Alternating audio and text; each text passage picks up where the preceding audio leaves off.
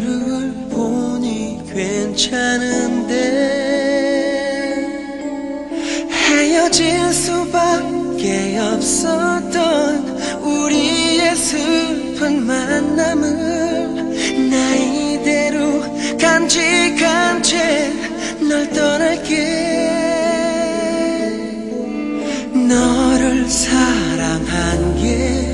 죄가 되어버린 이 세상이 너무 싫어졌기 때문에.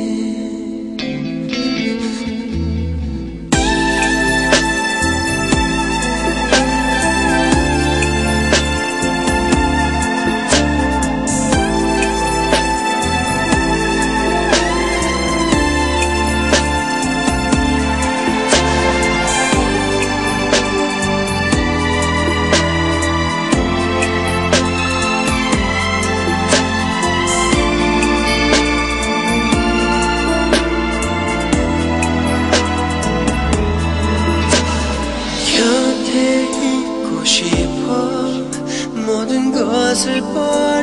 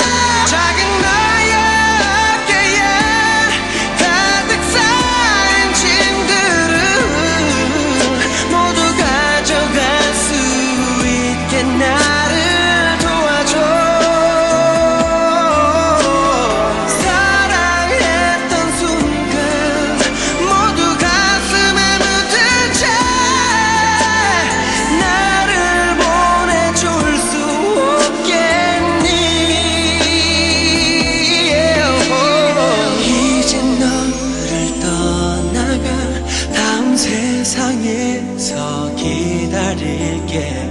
우린 다시 만나. 야